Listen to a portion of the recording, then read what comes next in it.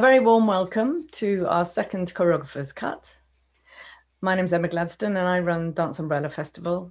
Uh, we had to cancel this year's festival um, due to the pandemic, but we're um, going to be sharing a digital festival this November.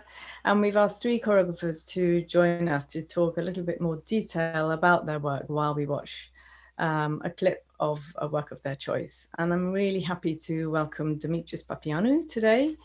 He's going to be talking about Primal Matter, which was a piece that we presented in 2016 at the Truman Brewery in London, sold out show. Um, and um, Dimitris is a uh, director, a choreographer, performer, also a visual artist. Um, who's been working internationally um, for many years now. And um, I'm really delighted to welcome you virtually, you in Athens and me in UK here. So welcome Dimitris, it's lovely to have you with us. It's lovely to be with you. I'm, I'm, I'm sorry that I cannot hug you and I'm not there. and I, I, hope, I hope everybody's going to excuse my heavy Greek accent. But we um... can enjoy that. We can enjoy that. Um, so Dimitris, tell us a bit about um, Primal Matter. Uh, you made it in 2012. Was that when you first created it? Yes, yes, yes. It was. It was a. Uh, it, it, it, was a, a strange time for me. It was. It was the time that the, the financial crisis has just happened in Athens, and I had just come out of an enormous production. Uh, one of my favorite ones that was called Inside, which was a six-hour-long uh, installation uh, that was a, a, very expensive production and uh, it didn't go well financially at all. And this was the first time in a long series of very successfully running shows that had allowed me basically to have very wide platform in, in, in Athens. And I, ha- I, I, was able to um, come up with a crazy idea and the producers would come and produce it because people would come. So this was the end of an era for me and I was I had to quit my big studio and I had to uh, go back internally to my uh, to the core of my uh, questioning of what it is to create. And, and, and I entered the studio without having any plan. And I realized that if there is anything interesting for me to do in the midst of the big financial crisis is to maybe attempt to do something with the minimum possible resources. I had been blessed to have the maximum possible resources after after the success of the Olympic Games of the, of the opening ceremony that I created. So I, I dived into a small um, uh, underground, not studio, but a, a, storage place that I had with, with uh, a friend of mine who was willing to experiment. I, I started it with uh, Tadeu Liesenberg, not, not um, Harry Stefanos that I presented it the second year and internationally. So my first colleague was a Brazilian dancer that was here in Athens, and we started experimenting. And I decided to take the risk myself as well after uh, 10 years that I hadn't been on stage. Uh, I was 49 at the time. And after two and a half months, I called the our, our beloved Yorgos Loukos, who was still the artistic director of the Athens Festival, I told him, I think I have something. Would you be interested? And he said, Yes, I would be interested. So it, it was a procedure that completely reversed any professional procedure that is happening uh, in our times. Like you get the producer, you know the date, you know the budget. I just started creating something, maybe. I found myself there, and then I found a place to show it, which happened again now with ink in the COVID uh, lockdown. So this was, this was the beginning of Primal Matter. This was, this was why I suddenly limited and therefore liberated myself from the resources. And I decided to do something without design of light, without, with only recycled sets, with myself and somebody else with one costume, almost no music. And I found myself diving inside my most favorite work. Mm-hmm. So the elemental, there's, it's it's interesting the simplicity of of the set and the lighting that is often manipul- manipulated by you um, in a way then that came from having to change your work processes. But there's also something that you have actively chosen about that the material in it of plywood and water and a tin bucket and there's very basic simple things there so was it partly driven by cost as well as by um, aesthetics then I, I, I did not have the, a specific problem in creating a more expensive show had I wanted to. Uh, it, it was a kind of a personal bet, a kind of, a, of an internal manifesto. Let's, let's see, at this age, am I able to touch upon good poetry with the most humble elements? Am, am I able to do that? Mm-hmm. Could, could, could I possibly? Mm-hmm. I, I, had, I had a very important feature in my painting when I was a young man. His name is Yanis Tsarouchis, and he's an icon of Greek uh, uh, painting. And he always, he was, he would always cherish the sacredness of simple things, and he would always talk about uh, good poetry comes from ephemeral nothing thing that with um, the eyes of the poet can become uh, can, can, offer greatness. Mm-hmm. Uh, so it, it, was not that I couldn't. It was I, w- I was playing this game with myself. I'd like us to have a look at it because it's something. The elements of softness with um, physical it's not endurance as much as f- pushing the the kind of edges of what's physically possible that i see in it. Um, so maybe we can maybe we can start in and and have a look and have a look at those all the many threads that are running through it. I, I, I spend a lot of time trying to find a way to edit a summary that mm-hmm. con- uh, connects uh, that, that includes the whole story mm-hmm. uh, so that someone can analyze the structure, but at the same time to find a way through editing to create some kind of thrill uh, and some kind of emotional impact as you're watching it on, uh, on, on, on, your screen. Anyway, how we start, what, what was also an interesting gesture, uh, kind of punishing but honest gesture for me, is that I was actually um, uh, checking the tickets. I was meeting the public personally, one yeah. by one, as yeah. they were entering, mm. uh, as if I was an usher. So mm-hmm. I, I, wanted to be the host from the beginning, and I didn't want to occupy any kind of um, concentration, uh, isolated room before I meet the public. I wanted, I, I wanted to play this game of of being. Um, uh, um, washed and fresh and clean when I mm. and when I welcome the people and to to end up completely destroyed at the end of the show. And this is uh, this this is uh, filmed in the original space. This was a garage, okay. so we didn't have to build the wall. The wall was there, mm-hmm. and um, and the length of the stage that we created was 35 meters, mm-hmm. and we installed the grandstands of the people. And this is a long introduction with both of people ha- hiding their heads. I am I'm having a garbage can as a head, and I produce shit ideas, and I step on those as I proceed in my older age. And according to Freud, shitting is the first creation that we ever make, the first product of our body.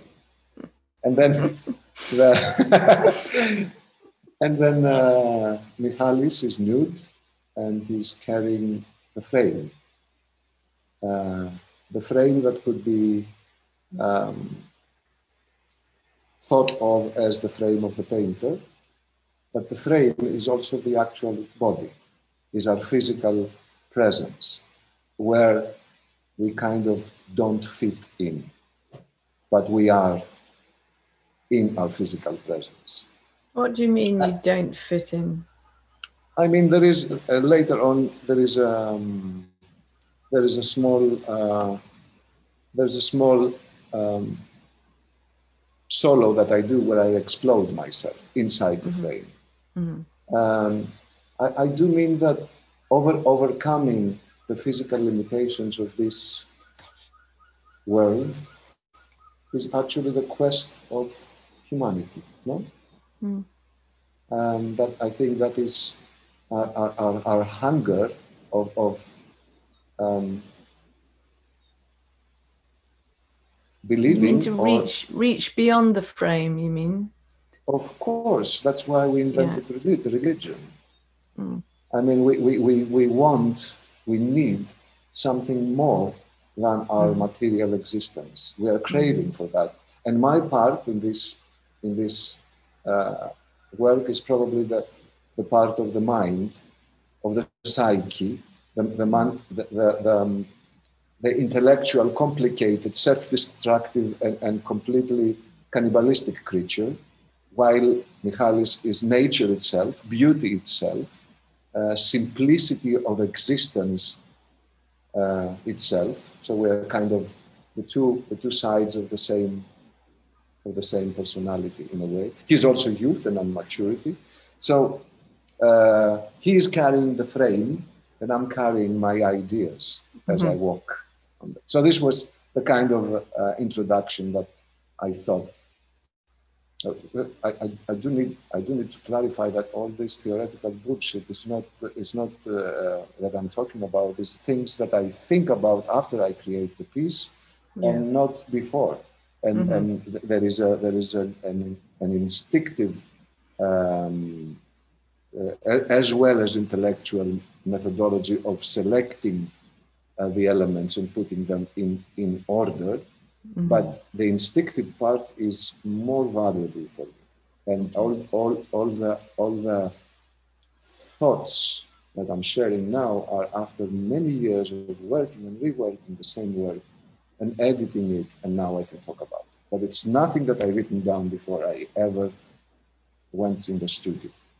So you're exploring the order of what you're making is not in your head before you go into the studio. Not consciously, No. Okay. not consciously. I, I I- also going into the studio, I don't even know what I'm going to do. Mm. And what we're watching courage. now, of course, it's, is, a, is, is the attempt of one character to go through the other. It's the attempt here, we also see the, how they are one. The head is, is placed exactly at the place. So it's like, a, it's like an agony of, of one entity to understand the other entity. And this is why it's important that you're both um, the same the same sex and roughly the same size, that there's a Yes, that that definitely. duality is there. Definitely, it has it has to be the same the same dimension. Mm, It has to be the yin and yang relationship, mm, the, the body and shadow relation, relationship. And and it's it's it's important that uh, that the body is stronger and younger and more beautiful, and the mind is and nude and the mind is dressed and uh, more articulate and more twisted in a way. Mm. But there's also another another thing that interests me that you Londoners can check out in the British Museum because all this first part comes from the Parthenon friezes. okay. All this first part comes from the the, um, the battles with the centaurs, hmm and centaurs are a symbol of of um, um, humanity not yet liberated from animal instincts. hmm So the first part also for me is this start of the history of representation that is best exampled in uh, the Parthenon friezes of the reliefs. It's not yet three-dimensional. It's stuck on the wall. hmm It's connected to its background. And, and as you saw, the whole part up to now is against the wall and it's kind of two dimensional. It doesn't have the three dimensions. It's yes. flat as it travels. It's flat, yes. Mm-hmm. It's flat as it travels, and then it will go on to the history of sculpture and painting that becomes three dimensional. And then there is an irony about the contrapposto, which is the explosive moment in the history of sculpture, where from the symmetrical kouros, uh, we go to the contemplating, resting figures of the contrapposto. Mm-hmm. So here, it, here is the here is the the moment that I told you about, where the in front of his frame, the black figure uh, explodes, and it's it was like exploding from the mind.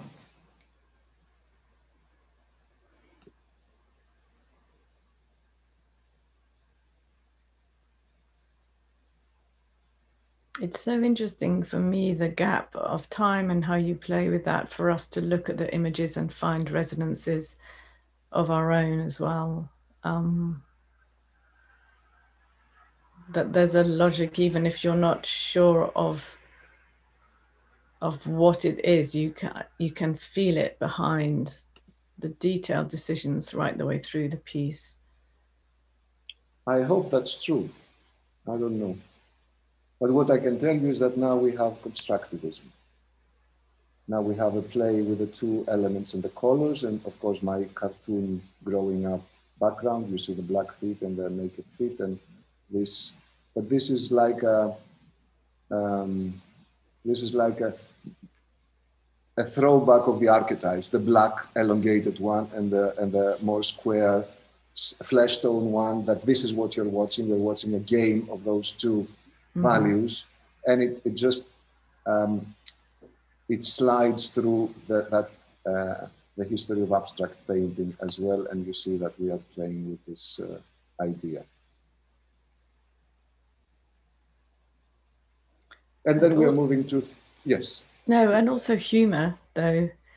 That oh yes, many points in here. We'll, I'm sure we'll come on to other ones. I don't want to stop you know. Yes, like I'm a sculptor here, and I am I, I, I always talk about it like the gym, like mm-hmm. how you go to the gym and you take care of your body. But I'm also his creator, but at the same time, I'm checking like my own uh, kind of perfection of form, if mm-hmm. possible.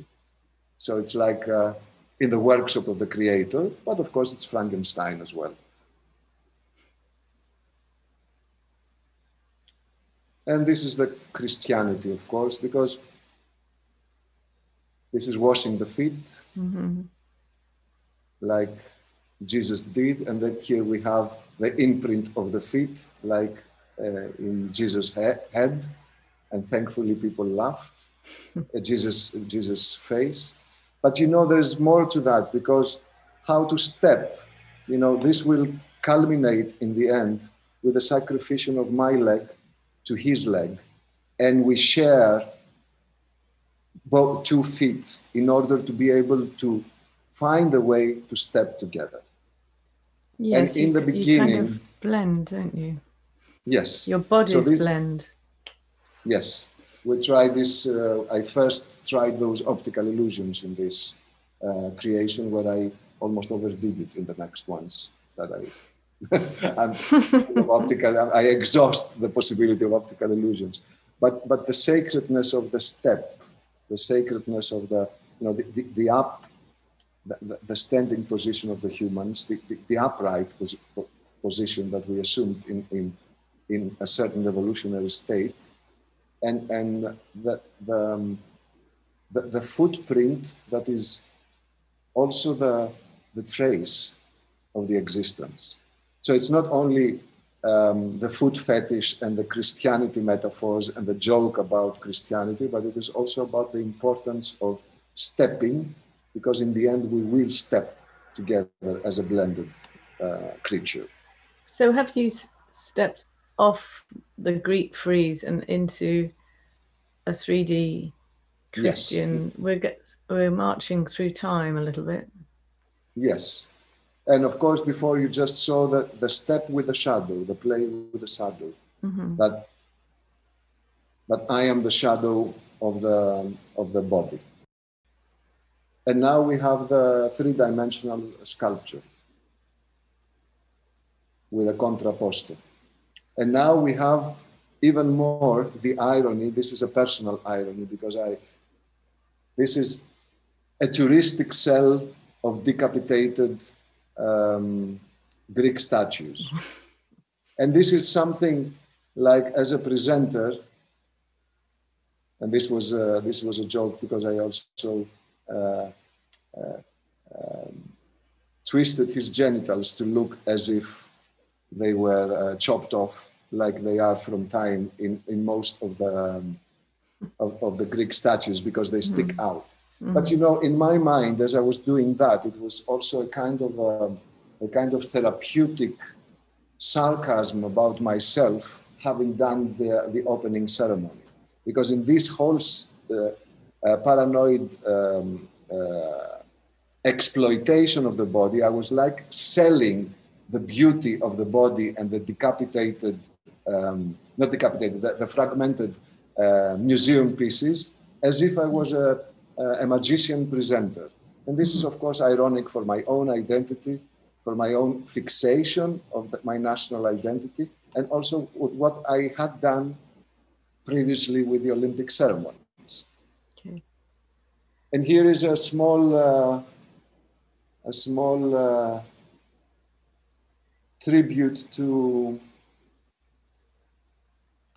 uh, Auguste Rodin, who would, uh, with one candle, check his um, uh, statues in the dark by lighting them and moving the candle to see all the volumes and how they are. I didn't uh, know that.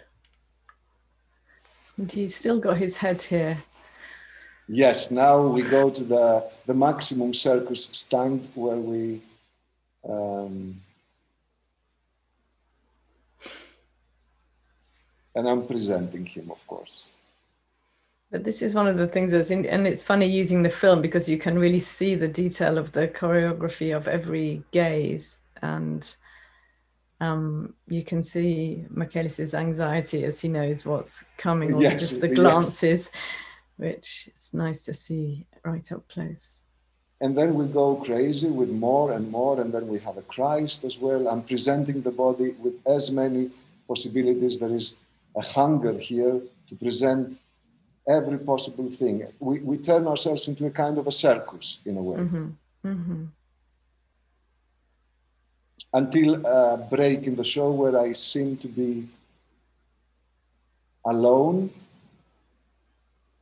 and then in the studio struggling and then i am like uh, what's what's this uh, um, crushed pygmalion it's pygmalion, pygmalion. like pygmalion yeah, yeah. crushed by my own creation okay. but at the same time crushed by my own physical but my own body and this is mm. the ridiculousness of him standing on me and then trying to save me at the same time mm.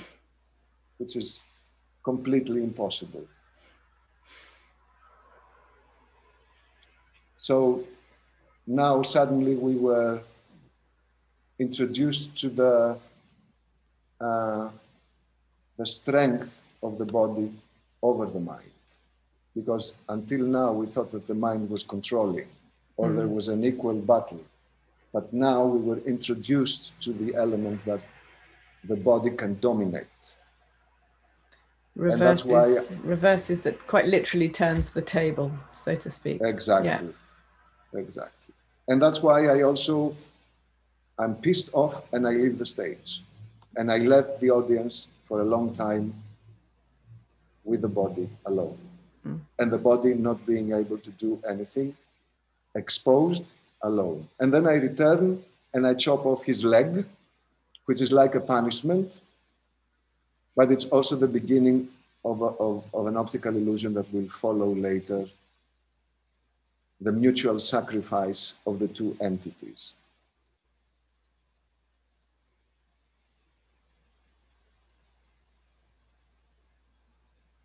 Then we have this connection of me eating and him shitting, which is another connection that we are the same um, body. body. And then, like a father washing the child, or like a farmer washing the cow, or like uh, I am washing him after his act of shitting.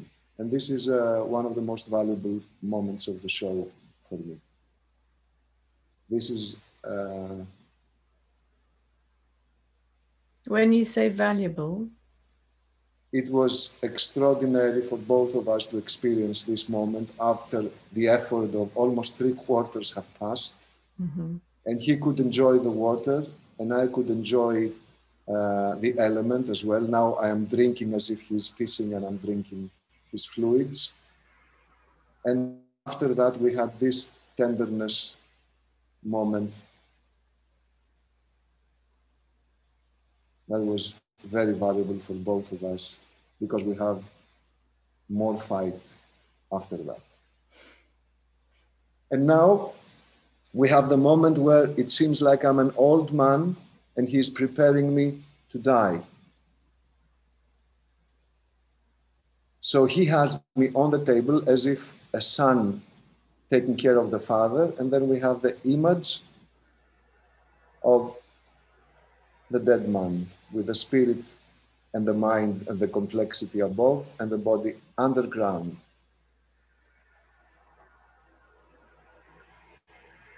But it's not over. We still have some more blending to do. We have a fight. We have a balance. a mutual balance. I'm balancing my the frame on my head, and he's dragging his uh, um, the table of, of of sculpting him, and he lies on it.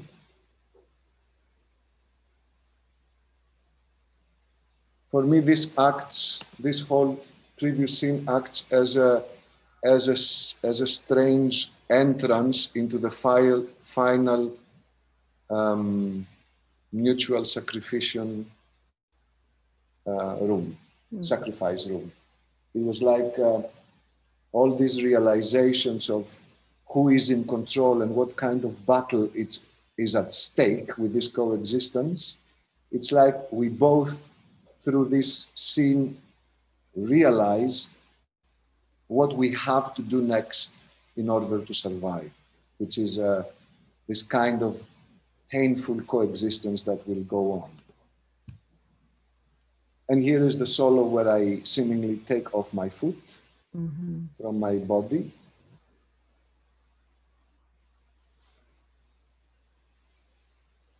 Aye. Which is um, a show off of my natural turning because I, I, have a, an almost uh, Japanese turn in ability. I don't have a hint of a turnout, but I do have turn. You're using what you've got, Dimitris. yes, yes. But it's well, I'm glad because I feel that's one of the moments, including the bit when he's walking on, when you're the shadow of just the pain I imagine within this. So, but this is not the most painful part of the so here here is this is my favorite image and what comes next also that is very humorous that i just have to hop yeah. To get there i am very thankful of these ideas. This is this is the this is the my favorite moment. How do you get there? Those those those creatures. To, to get some unity that follows. Yeah, because now, because now, when in the good shows, if we are successful, we have um, created an atmosphere there that is something is extremely strange and simple, and there is a possibility of terror and laughter at the same time on stage. Yeah, and this is something I find really interesting is the the the scale of your imagination or the the the scale of the resonance that comes from your images that is mixed in with humor. And I know we've talked about this before of um, Buster Keaton and the kind of slapstick yeah, elements my, that you use. I, I if, if if I could, I would only make comedies. If if I if I really could, if my imagination was there, I, I think it's the best vehicle for communi- for artistic communication. I think there's something extremely liberating when you can make people laugh. But I, I cannot always do that. And, and, and when it's in between tragedy and comedy, it's even best. Hmm. So this is the, let's say, the this common step that could be uh, the finale. Mm-hmm. But we chose to make one final, further take towards a more extravagant, uh, performative sacrifice in a way. And for that, I also give him the power, and we have the only theatrical light that lights up for this finale we turn off everything and he puts the he unites the plug and we have one follow spot on on us.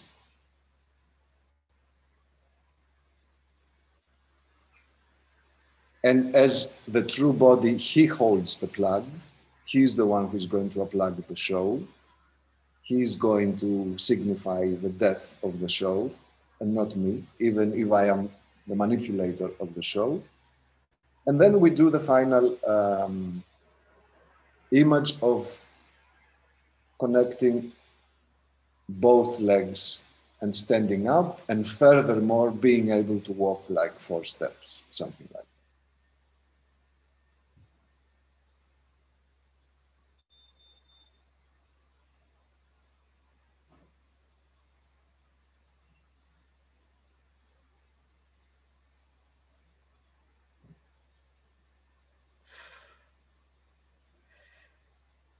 Ay, ay, ay.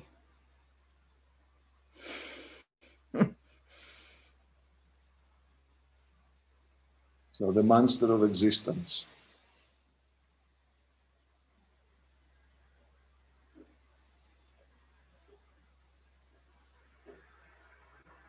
But also giving birth to you. Yes, while I am supporting him to walk.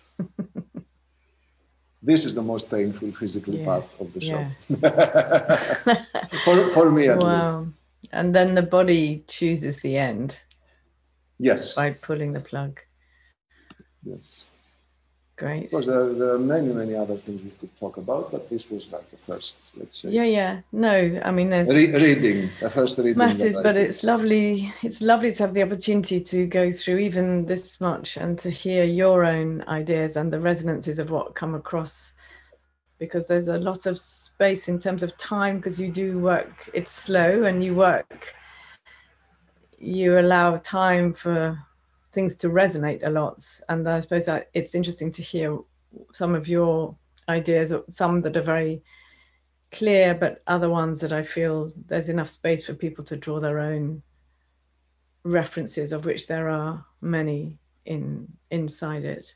When you yes. look at it now, do you? How does it? You know, you made it eight years ago now, or you opened it eight years ago. How does it feel now you've just done another duet ink that's um, has a lot of water in it as well.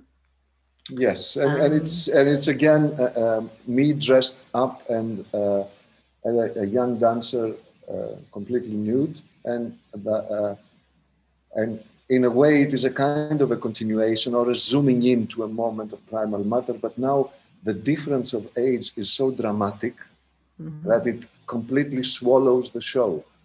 And it's also with a black background, which because primal matter is with white background. And this is what one can say about the show as the first thing that one should say about the show. It's very important because our theaters are black and it's very difficult to create images like that in black theaters. Mm-hmm. For, but this, um, but ink is it's a smaller. It's a, for studio theaters. No, no, no, no. It's a it's larger scale.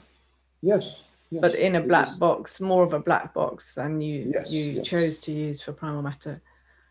Yeah, no, primal matter. I chose to use an unconventional uh, yeah. space mm. that requires, as you know, because we were uh, struggling two years to bring it to to dance. Long time to, to, find that space. Yeah, to find the space that uh, that can take it.